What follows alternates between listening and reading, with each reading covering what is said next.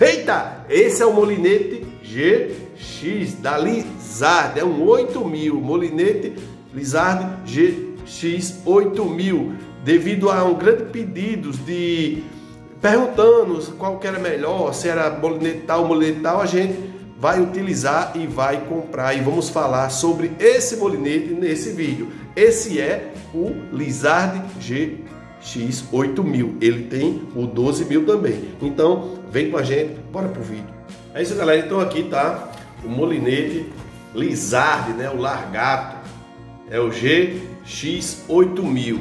Um dos motivos é que eu comprei é você que nos assiste porque existia muita pergunta para me avaliar e para dizer é, o G6, G6 é melhor, o, o, da Maruri é melhor, o da Albatroz é melhor, qual que funciona em, em cada situação. E como eu não tinha utilizado, e assim aqui eu prezo muito por quem comenta, eu olho todos os comentários, eu tento responder. Então se você não comentou, já comenta aí se você tem alguma dúvida, se eu conseguir responder, é lógico que eu vou tentar responder, certo? Eu não sei tudo, é, eu tenho alguma experiência mínima, mas em equipamentos básicos, eu não utilizo equipamentos caros, certo? Mas em equipamento básico a gente já tem uma grande experiência, porque comprando é, é, é, básico você consegue comprar uma diversidade maior de equipamentos. Então, quem tenta perguntar eu respondo. E esse molinete eu não tinha utilizado ele ainda e eu vou utilizar a partir de agora. Então, nos próximos comentários eu vou poder, inclusive, avaliar com esse outro vídeo. Se você olhar, eu, eu avaliei também aqui um molinete Bravos da Albatross Fish e ele é, tem o mesmo porte. Então, vou estar avaliando qual a diferença desse aqui, desse GX8000 da Lizard, né? Lizard que acho que significa o nome é largato. É, tá aqui, ó, mande em algum país aí diferenciado, ó, e a gente vai estar tá abrindo agora. Eu não vi, certo? Então, primeiro eu vou fazer uma avaliação é, nele aqui, depois eu faço as especificações bem direitinho, de acordo com o fabricante. Vou tentar abrir aqui, que é duro de abrir aqui, ó. Abriu, certo? É uma caixa bastante robusta. Já encontrei aqui um, um saquinho de veludo, ó, certo? Um saquinho de veludo, ó. Ele veio é, enrolado em um papel bolha. Vem aqui um esquema também junto, ó, certo? As pedras e numerações, mas não tente, não tente abrir não, porque é complicado para abrir. Eu já abri e sobrou peça. Outra molinete, certo? Então vamos lá. Ó, é um molinete leve, certo? E depois eu vou ler as especificações, mas é, a princípio ele é mais leve, certo? Ó, é um molinete grande, do tamanho do outro, ó, ele é menor um pouquinho, mas ele é grande. É um molinete raso, certo? Raso, robusto, pelo, pelo que eu estou entendendo, esse material já é um material metálico. Ele é direito e esquerdo, ou seja, ele veio no esquerdo, mas eu posso virar para o direito, certo? A manopla aqui eu não tenho certeza do material, mas eu vou ler nas especificações, certo? Esse é o, o Lizard GX 8000. Ele tem uma, uma fricção dianteira, certo? Eu vou, eu vou inclusive colocar a mesma bitola de linha que eu coloquei no outro, que é para mim estar tá verificando a, a, soltura de linha dele, é, o, o, o, recolhimento dele, como que acontece, certo? E eu vou estar tá vendo aqui. É, é, aparentemente, olha, esse, eles têm furinhos. Eu acho que esses furinhos também é resultado é, dessa leveza maior dele, porque se você tirar, você tira uma certa quantidade de peso do furinho. Eu acredito que esse esse esse carretel dele aqui seja de alumínio ou inox, tá vendo?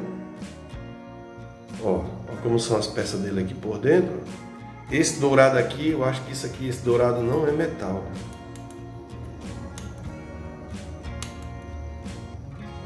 Eu acho que não é metal, eu vou ler aqui. para ver direitinho. Parece que é metal, certo? Então, é, robusto é, certo? É um molinete de carretel raso, tá vendo? Raso. Eu vou tampar aqui porque é, nessas especificações dele aqui, as especificações dele são aqui, não é aqui, ó, nessa lateral aqui, ó. Eu vou ler aqui, ó. Eu vou ler depois é, a, a descrição dele, certo?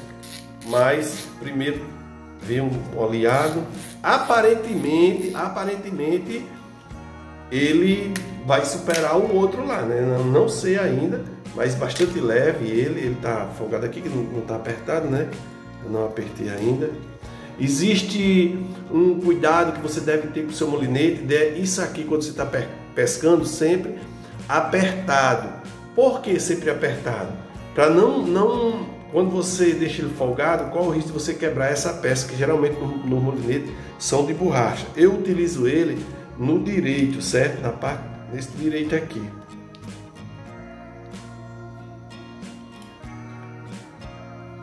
Ruim de tirar, ó. Que é só trocar, ó. Eu vou até olhar se ele é direito e esquerdo mesmo, ó. Ah, saiu, ó. Ruim de tirar, não foi legal não de tirar. Coloquei. Então é importantíssimo que você mantenha esse parafuso aqui, ele sempre apertado. Isso faz com que a durabilidade dessa peça aqui, que ela estraga bastante, seja maior. Você manter. E também de você não vacilar e ele tá caindo na areia da praia, certo? Eu tenho, eu li um pouco da descrição já, diz que ele é blindado. Pronto, agora é o lado certo que eu pego, é esse aqui, ó. Macio, certo? Molinete grande, molinete para arremessos longos, certo? E vamos lá. É, vai valer, ó, isso aqui eu conversei com o Helenilton, Olha, esse aqui deve ser grafite, essa parte aqui. Essa parte aqui não é, não é de plástico, não é plástico, porque é, no outro disse que é grafite, eu fiquei meio certo? Mas eu vou dar uma pescada com os dois, daqui uns três meses eu vou dizer a você o custo-benefício, inclusive esse é um pouco mais barato do que o outro. Agora a questão, todos ficam em, em tanto esse como o Bravos, ele fica em torno de é, 300 reais, certo? Eu vou deixar um link aqui se você quiser visitar alguma página que venda ele. Aí eu deixo o link, você já vai lá, visita, certo? Agora eu vou ler as especificações da forma que vem aqui no. Sim, ó, é. 0,35, 310 metros, 0,40, 240 metros. Então a capacidade dele de linha é menor do que o outro. Isso mostra que ele é mais raso. Aqui essas a, a, as as abas do carretel elas são declinadas, que é para facilitar a soltura da linha, certo? Então vamos aqui ler as especificações do nosso amigo Lizard GX 8000. Esse é 8000. Eu acredito que ele não passa de 600 gramas, mas vamos ver? Bora lá?